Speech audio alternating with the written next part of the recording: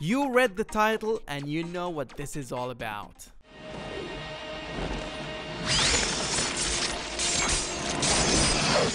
Ever since the announced trailer for MK11 was revealed, we've been very hungry for more details concerning the upcoming game. And guess what?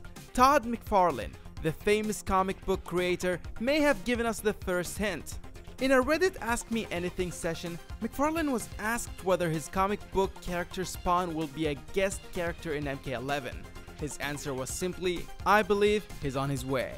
Now I think that McFarlane did not realize that the announcement for guest characters wasn't public yet for him to put out such a bold answer. But at the same time, it is not an absolute confirmation.